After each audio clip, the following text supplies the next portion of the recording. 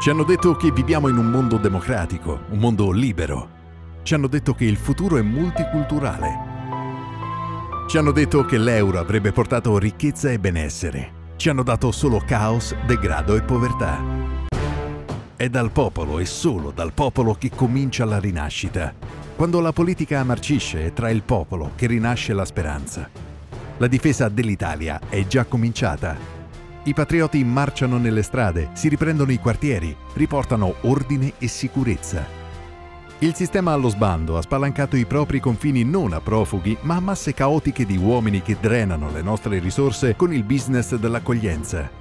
Gli italiani sono vittima di una classe politicante che ha tradito, cedendo sovranità, ricchezze e libertà che i nostri padri avevano accumulato per noi. L'italiano che si oppone a questi traditori e agli invasori viene perseguitato o criminalizzato. Ma ci sono degli italiani, veri italiani, che combattono. Quartiere per quartiere, strada per strada, la lotta di popolo è iniziata. Dio, patria, famiglia, casa e lavoro solo agli italiani. Queste le loro parole d'ordine, questo il loro grido di battaglia. Per anni i patrioti hanno diviso le loro energie, ma sono tempi bui e per questo Forza Nuova ha suonato il corno e Fiamma Tricolore ha risposto. Un patto nazionalista è stato stretto, un nuovo faro che lancia il suo fascio di luce e di speranza e che dà finalmente inizio all'unità dei patrioti.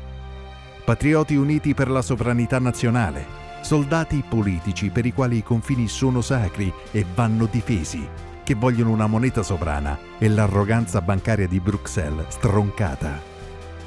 Ogni popolo ha la sua terra, ogni terra ha il suo popolo. L'Italia deve essere liberata dall'immigrazione selvaggia, i clandestini e coloro che commettono reati devono essere tutti rimpatriati subito. Contro la sostituzione etnica bloccheremo l'invasione e lanceremo immediatamente un grande piano di sviluppo demografico soldi alle madri e case popolari a riscatto per gli italiani che si sposano, lavoro, casa, famiglia, istruzione, salute, natura, sport. Tutto dovrà concorrere alla nascita ed alla crescita degli italiani di domani. Per uno Stato nuovo serve una forza nuova che ricostruisca la nazione. Noi non chiediamo un voto, chiediamo di accendere un fuoco.